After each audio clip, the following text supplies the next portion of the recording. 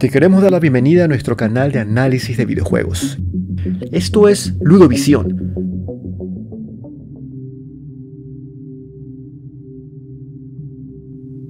Si uno tuviera que hacerse una idea de América Latina a partir de los videojuegos más populares, el resultado sería de terror. Una suma de países violentos, exóticos, llenos de pobrezas y malas costumbres, y que esperan con urgencia una intervención militar. Un ejemplo se ve en Call of Duty Black Ops, publicado en el 2010. En su primer día recaudó 360 millones de dólares, una cifra jamás antes vista, superando las ganancias de la inauguración de la película Avatar, que recaudó 239 millones de dólares en su primera semana, también del álbum de música titulado 25 de Adele, que recaudó 3.38 millones en el 2015 y del último libro de la saga de Harry Potter de Deathly Hollows, que recaudó 8.3 millones de dólares en ventas durante la primera semana. En Call of Duty Black Ops, cuya misión inicial ordena al jugador asesinar a Fidel Castro en suelo cubano durante la invasión de la Bahía de Cochinos o la invasión de la playa de Girón en 1961, marca un giro en el consumo de medios que está ofreciendo representaciones de la cultura latinoamericana a una audiencia global más amplia que nunca. Call of Duty Black Ops es una de docenas de estas representaciones que está dando forma de cómo personas de todo el mundo conciben a la región y a sus habitantes. Existen dos casos más extremos en donde los personajes latinos fueron retratados en los videojuegos de formas que parecían estereotipadas por naturaleza. Uno que provocó indignación en la comunidad latina fue el juego de la Nintendo DS Spanish for Everyone, en el que un joven latino toma prestado la Nintendo DS de su amigo de raza blanca y se lo ve partiendo a México con él, a lo que el amigo tiene la tarea de viajar a la frontera para recuperarlo.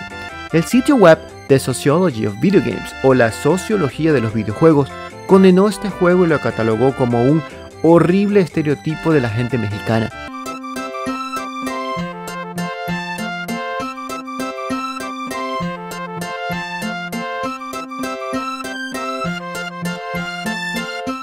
Otro juego que causó gran indignación fue Border Officer, que salió en el 2019, en donde el jugador asume el papel de un oficial de inmigración y tiene la tarea de investigar y detectar quién podría ser un inmigrante indocumentado antes de dejarlo entrar a los Estados Unidos. Estos fueron los casos más extremos de representación dañina hacia la comunidad latina. Pero, ¿qué significa tener a América Latina no solo representada visual o textualmente, sino también simulada como países llenos de conflictos armados, gobernados por dictadores para una audiencia de millones. ¿Cuáles son las implicaciones de las representaciones que se están desarrollando y qué tipo de lecciones se está enseñando sobre la cultura de la región? Bienvenidos a Cultura Gamer, estereotipos de América Latina.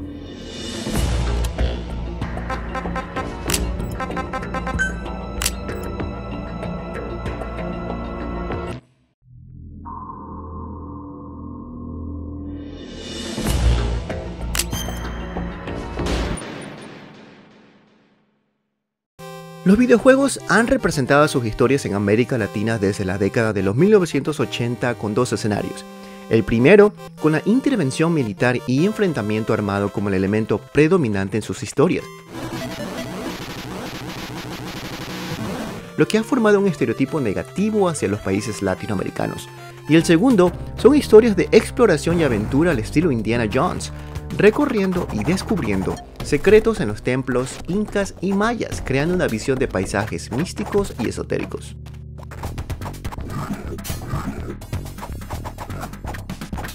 El único videojuego que ha tenido una representación de inclusión con los latinos es la conocida saga de FIFA.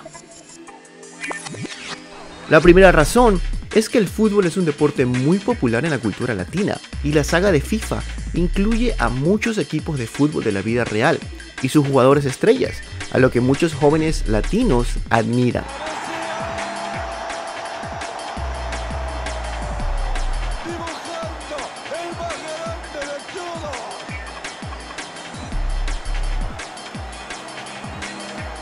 Pero el hecho de que FIFA lo haya hecho bien no significa que deba detenerse allí. Sería bueno ver alguna forma de representación latina que no sea en los videojuegos sobre fútbol. Algunas de las compañías de videojuegos AAA lograron incluir personajes hispanos en sus juegos en varios géneros, pero esto no se ha generalizado con otros desarrolladores de videojuegos. En un estudio realizado por la Universidad de California del Sur en el 2009, encontró que de los 150 mejores videojuegos de ese año, en nueve plataformas distintas y todos los niveles de clasificación, menos del 3% de sus personajes de los videojuegos eran irreconociblemente latinos, y casi ninguno tenía un protagonismo en el juego. Sorprendente, ¿no? En otro estudio realizado por la New American Media, encontró que a comparación de otros grupos étnicos, el 32% de la población latina considera los videojuegos como su principal fuente de entretenimiento, y el 54% tienden a comprar videojuegos el mismo día de su lanzamiento. Me pregunto, si con tanto apoyo, fanatismo y lealtad de la comunidad latina hacia los videojuegos, ¿por qué la industria no ha hecho un mejor esfuerzo para incluir personajes más diversos? problema, Papi, un gran problema. Muchos estudios AAA tienden a estereotipar a la comunidad latina como comunidades llenas de jornaleros y pandilleros, como lo vimos en Grand Theft Auto 5 del 2013 de Rockstar Hola, Games. amigos. Hola, SA. Oh, so you're trying to creep up in here, man? Yeah, you saw this mother. Oh, shit! Oh, oh, oh, vamos! y de Grand Theft Auto San Andreas. It's time to get my old gang back together. Push out those yay slanging punks, eh? Come on, I want to take my house back. Y algunos otros.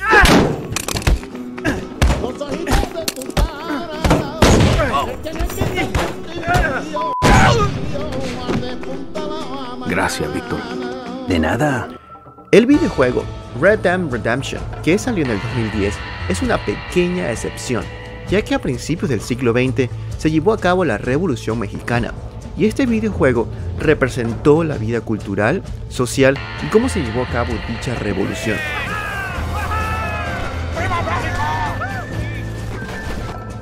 Aunque sus personajes latinos principales más notables son vistos como traidores y egoístas. Otro personaje significativo de origen latino en una popular franquicia de estudios de juegos AAA es Baz Montenegro de Far Cry 3. Did I ever tell you what the definition of insanity is? Insanity is doing the exact same fucking thing over and over again. That is crazy. Posiblemente uno de los villanos más importantes en las historias de videojuegos debido en parte a la increíble actuación, voz y movimiento del actor Michael Manto. Hay una buena cantidad de juegos que incluyen personajes importantes de origen latino, pero muchos de estos personajes no son jugables y tienen un rol secundario del protagonista principal. Algunos de estos personajes incluyen a Dominic Santiago de la serie Gears of War, Running away won't help. I'll just shoot you in your asses. James de la Vega de la serie Mass Effect, You're not supposed to call me that anymore, James. Not supposed to salute you either. We gotta go. The defense committee wants to see you. y Salvador de la serie Borderlands. The next guy you're looking for is named Blendo, and he wants to kill Salvador in order to avenge, uh, uh, you, uh, everyone. You killed his entire bandit clan, Sally, all 150 of them. That was a fun weekend. Las mejores formas de representación latina en los videojuegos son aquellos que hacen que los protagonistas sean latinos, sin fijar estereotipos al personaje. Algunos de estos personajes jugables son Rico Rodríguez del juego Just Cause, como King de la serie Taken, y existe la posibilidad de que Sebastián Castellanos de la serie The Evil Within sea de origen latino mediante la observación de su apellido. Si miramos la industria de desarrollo de los videojuegos desde empresas en América Latina, la historia es totalmente diferente. En un estudio realizado por el Banco Interamericano de Desarrollo, o el BID por sus siglas en inglés, estima que los videojuegos tienen un alcance de 2.3 mil millones de jugadores alrededor del mundo y 234 millones de ellos se encuentran hoy en día en América Latina. Según este mismo estudio catalogado Los videojuegos no son un juego, encontró que la industria de los videojuegos produjo 5 mil millones de dólares de ingresos generados en América Latina en el 2018, llegándola a considerarse la economía naranja, con mayor crecimiento teniendo a países como México, Colombia, Chile, Argentina y Brasil como las industrias de más alto consumo y desarrollo de juegos en América Latina. Por otro lado, en América Latina, existe una compañía que está desafiando los estereotipos creando un juego que hable de nuestra cultura amazónica. Me refiero a Tunche, que después de haber estado en desarrollo por casi 5 años, la compañía peruana Leap Game Studios hizo el lanzamiento oficial el pasado 3 de noviembre del 2021 de un videojuego inspirado en los personajes místicos de leyendas de nuestra Amazonía. Lo que me llamó la atención de Tunchen es el modo de juego retro estilo 2D, con un estilo artístico muy cartoon y atractivo, ubicado dentro de la selva alrededor de la Amazonía.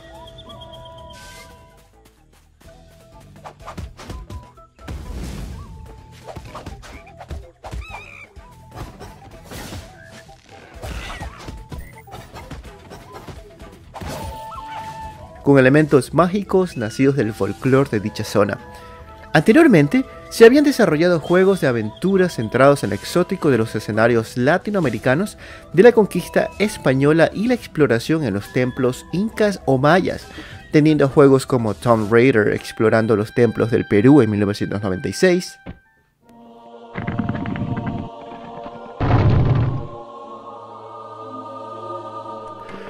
Amazon, Guardianes del Edén de 1992,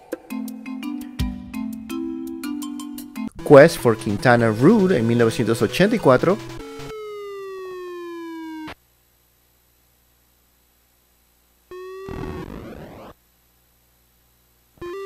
o también Uncharted 3, que tomó lugar en Cartagena, Colombia.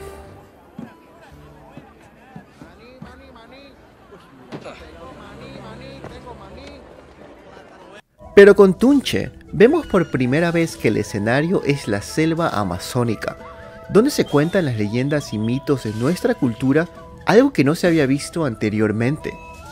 Luis Wong, cofundador de Leap Game Studios y productor ejecutivo de Tunche, nos cuenta un poco de cómo surgió la idea de este juego. Luis, un placer poder hablar contigo. En Tunche, ¿cómo surgió la idea de hacer un juego basado en leyendas y fábulas de la Amazonía? Pregunto esto porque está llamando la atención por las diferentes creencias y fábulas y criaturas que se hablan a lo largo del juego. En el caso de Tunche, entonces, eh, yo quería hacer un juego de Amazonía. Eh, me parecía que era un género que no se había abordado mucho. El nombre también lo presenté, eh, pero el inicio del juego era muy distinto a lo que salió hoy día. ¿no? Antes era un juego más de exploración. Estuvimos trabajando en él un tiempo, sentíamos que no funcionaba, así que le dimos este toque más de acción. ¿Cómo ha sido la reacción de la gente al ver un escenario distinto? Me refiero al Amazonas, algo que nunca se había creado anteriormente. Sí, o sea, no, no, hubo un enfoque, digamos, didáctico. Queríamos hacer simplemente un buen juego y, nos parecía que la Amazonía eh, representaba el misterio, que era lo que iba bien con el gameplay que queríamos tener. Entonces, por eso elegimos ese, ese enfoque. Y las reacciones, bueno, la gente ya está hablando del juego en Twitter, en videos, en Let's Plays, en todo eso. Y y les asombra y les llama la atención que sea un escenario distinto ¿no? lo que normalmente está acostumbrado y, y a nosotros nos gusta mucho que, estén reconociendo ciertos elementos o cosas muy muy, muy de la cultura latinoamericana. ¿no? Para poder iniciar el juego tendremos que elegir alguno de los cinco personajes que tenemos disponibles, cada uno con sus propias historias y poderes diferentes a medida que vayamos superando los niveles. Así pues tenemos a Rumi, la hechicera, con características de super velocidad, Pancho, que es un poco lento pero con una gran fuerza, Naira, una niña indígena, Karu y la invitada especial de Hat Kid. Para poder avanzar de nivel, tienes que derrotar a los diferentes jefes mitológicos de la Amazonía, algo super cool que no se había visto en ningún otro juego anteriormente. Imagínate poder pelear con el Mapping Wari, que según la leyenda fue un chamán que encontró el secreto de la inmortalidad. ¿O qué tal el delfín rosado conocido como Boutu, que según el folclore del río Amazonas, por las noches este delfín se convierte en un apuesto joven que seduce a las mujeres. También tenemos a Runapuma, que según la leyenda, los jaguares negros en Sudamérica son en realidad poderosos brujos capaces de tomar forma humana. Tenemos a Ukumari, que fue un príncipe inca y general que ayudó a Atahualpa en la guerra civil inca, y Yakuruna, el ser mitológico de las aguas del Amazonas.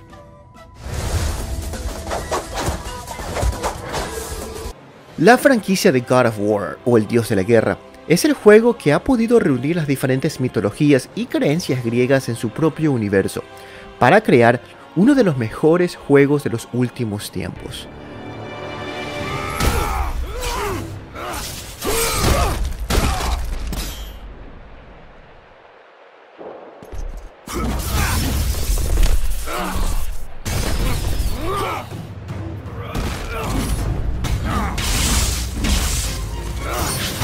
Pero, con esto que acabó de lograr Tunche, estaremos en presencia de un juego que pondrá nuestra cultura latinoamericana, llena de fábulas y folclore, a disposición de otras culturas para que aprendan de lo nuestro, así como lo hizo el dios de la guerra?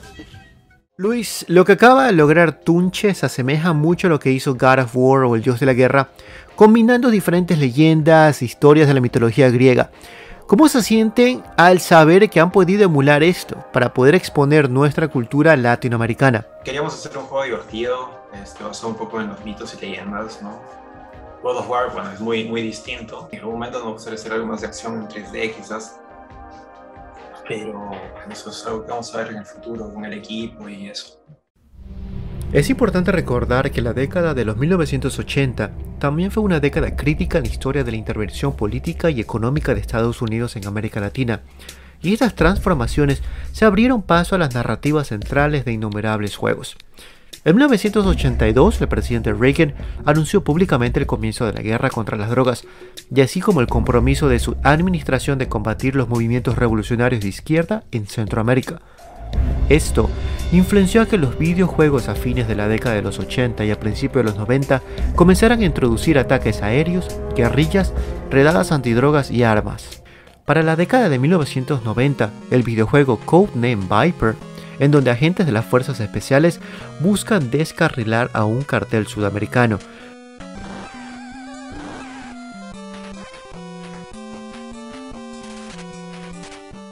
mientras que en Jungle Strike, que salió en 1993, los jugadores pilotean un helicóptero contra una fortaleza en la jungla defendida por un cartel.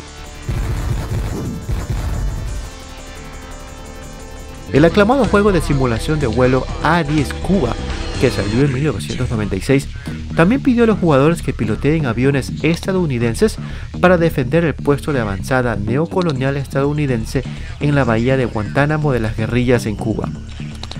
Para el profesor de estudios latinoamericanos Philip Penny Tatson, autor del libro Código Cultural, Videojuegos y Latinoamérica, este tipo de videojuegos son parte de un panorama mediático y un ecosistema de narrativas que también promueven estereotipos. Profesor, los videojuegos que hablan de Latinoamérica están llenos de estos estereotipos usados durante la Guerra Fría. ¿Cuál es tu opinión al respecto? Creo que es como una acumulación de estereotipos que sirve para, em, para alimentar esa, esa, em, ese aumento continuo en la popularidad de esas mismas imágenes estereotípicas, ¿no? que, que para nada representan la realidad tan diversa de América Latina, que reduce todo a dictaduras y narcos. ¿Qué se puede hacer al respecto para tratar de tener una mejor representación? Em, creo que sí, por un lado, em, mayor representación de gente latinoamericana em, escribiendo los guiones, pero también en todos los niveles de la industria y en todos los aspectos de, de, cualquier estudio, ¿no? Debe haber una mayor representación de gente latinoamericana. Por otro lado, eso no es garantía de una transformación en la visión que uno tiene de los videojuegos, porque todos consumimos los mismos estereotipos, los mismos productos populares. Em, y hay que haber como un deseo y un esfuerzo em, de parte de los em, desarrolladores de romper con los estereotipos. Y ahí está el problema, porque eh, son los estereotipos que más se venden, ¿no? Eh, el estereotipo es lo que más se vende y entonces es lo más rentable y lo más fácil también. Sin embargo, fue el comienzo de la guerra global contra el terrorismo de George W. Bush lo que condujo a un nuevo auge de los videojuegos centrados en el cambio de régimen en América Latina. El despliegue de tropas estadounidenses en Irak y Afganistán a principios de la década del 2000 dio nueva vida a las representaciones glorificadas y de alta resolución del imperialismo estadounidense.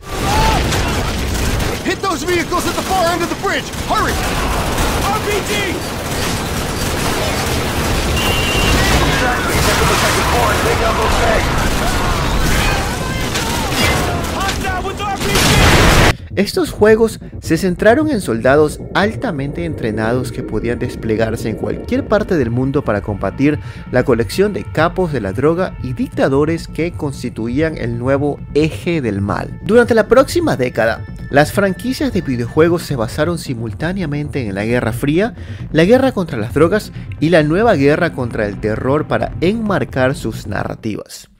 Tenemos como ejemplo la serie Just Cause, un juego en el que interpretas el papel de Rico Rodríguez, un ex agente de la CIA que explícitamente trata de derrocar dictaduras en el Caribe de habla hispana.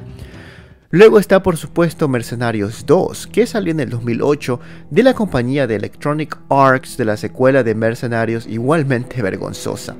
En Mercenarios 2, los jugadores libran un golpe sangriento y una campaña de terror contra un presidente venezolano ficticio, en un complot que desató ondas de choque en la vida real en Venezuela.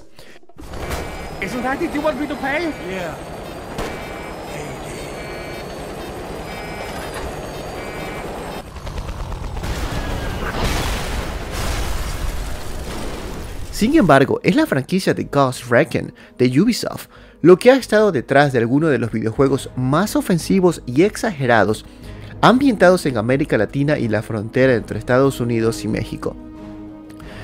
En Tom Clancy Ghost Recon Island Thunder del 2002, aterrizas como un soldado estadounidense en Cuba para defender las elecciones supuestamente libres de izquierdistas cubanos armados y reclutas de las FARC en Colombia.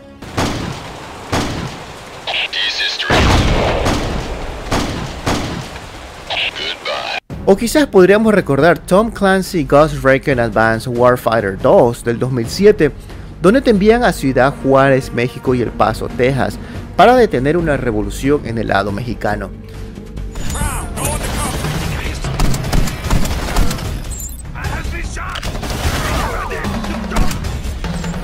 Por su parte, Ghost Recon Wildlands en el 2017 es sin duda el juego más inquietante de la lista, por el grado en que presagiaba un golpe de Estado real respaldado por Estados Unidos en Bolivia. Lo irónico es que solo dos años después del lanzamiento del juego, Estados Unidos aplaudió abiertamente un golpe de Estado de derecha contra el gobierno de Evo Morales.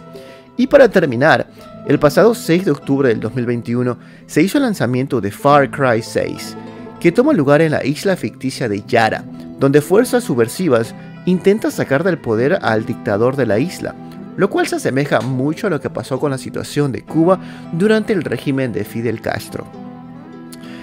En su más reciente artículo, el profesor menciona cómo los videojuegos y otros medios de entretenimiento como el cine y las series en Netflix han seguido con estos estereotipos de presentar a los países latinos como países violentos y subdesarrollados.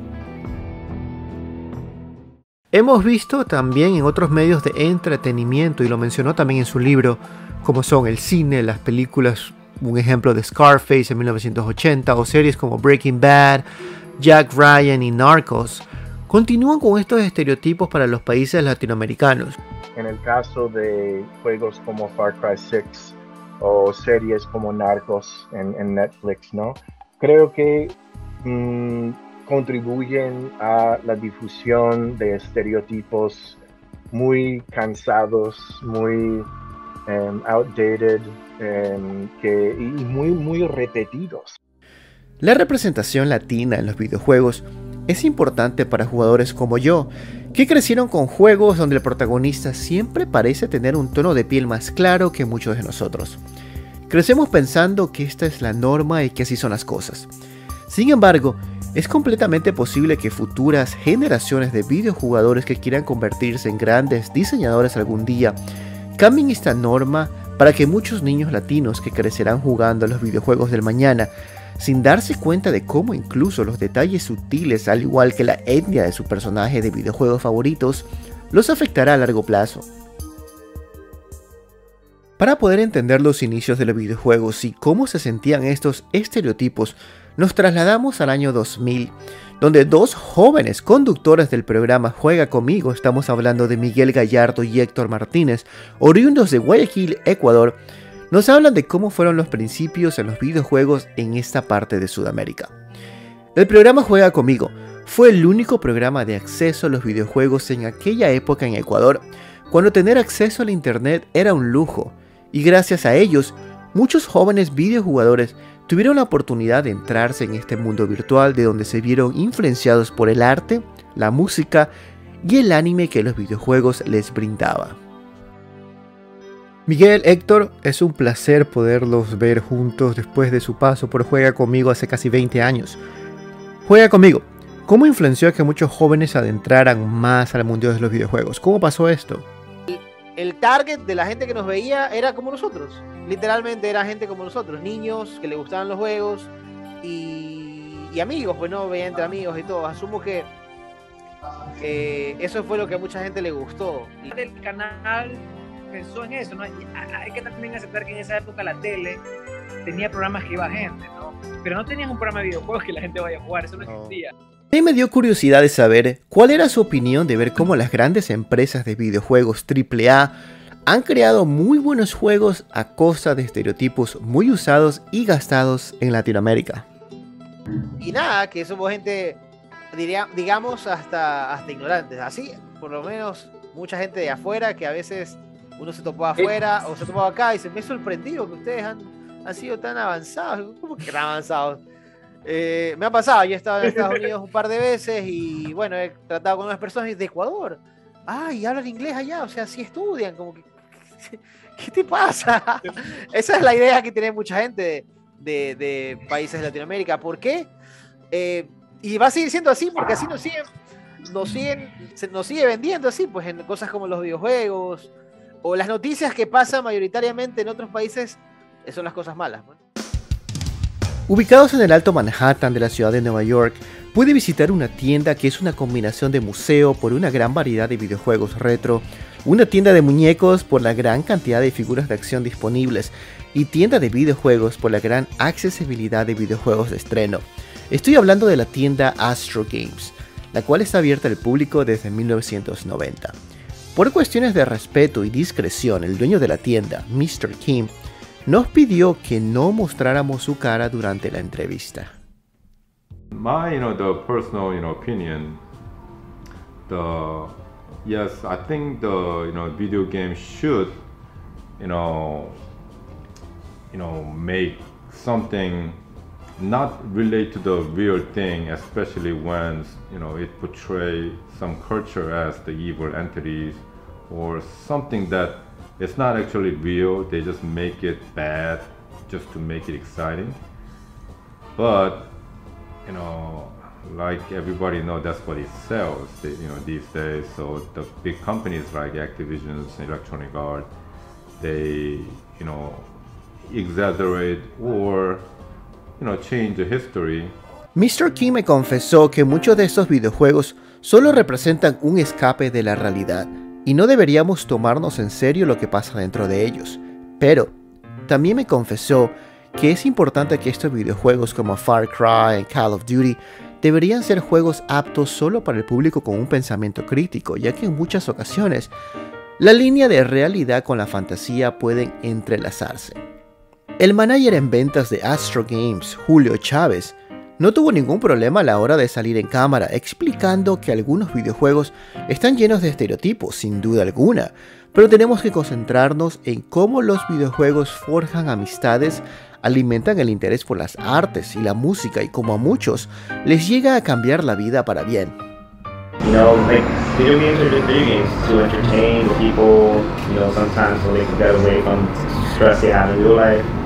And I nothing to do with like video games are it has nothing to do with politics.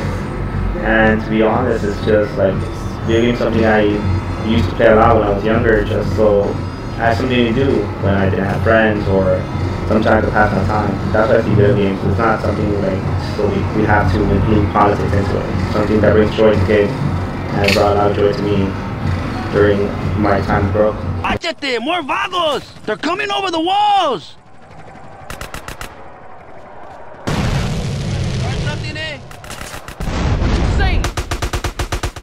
Si bien la industria de los videojuegos se caracteriza por sus estereotipos, Latinoamérica cuenta ahora mismo con más de 50 desarrolladores de videojuegos listos para cambiar esa visión. Contamos con un futuro alentador para poder traer más diversidad y terminar con los estereotipos que no hablan de nuestra historia y nuestra cultura de manera adecuada. Con un mejor financiamiento por parte de agencias de gobierno, se pondría en evidencia el potencial en uno de los sectores de la economía naranja en América Latina. Un buen ejemplo reciente de estos juegos hechos por desarrolladores latinos son como Chris Tale, un colorido tributo a los RPG cuyo desarrollador colombiano se inspiró tanto en las historias de los juegos por turnos como en los lugares emblemáticos y el folclore de Colombia. También está el Chavo Kart, un juego de carreras basado en los personajes del aclamado El Chavo del 8 y la subsecuente serie animada El Chavo Animado.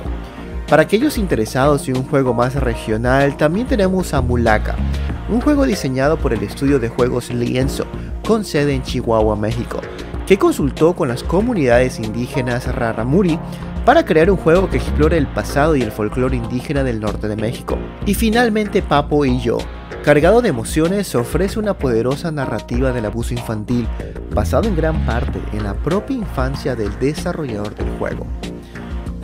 No hay que sorprenderse si de aquí en 20 años o inclusive en menos, nuestros desarrolladores estarían compitiendo con empresas de renombre como Nintendo, Capcom o Ubisoft, solo por mencionar algunos. El futuro de Latinoamérica en el ámbito de desarrollo de videojuegos es prometedor. ¿Y ustedes? ¿Comparten mi misma opinión?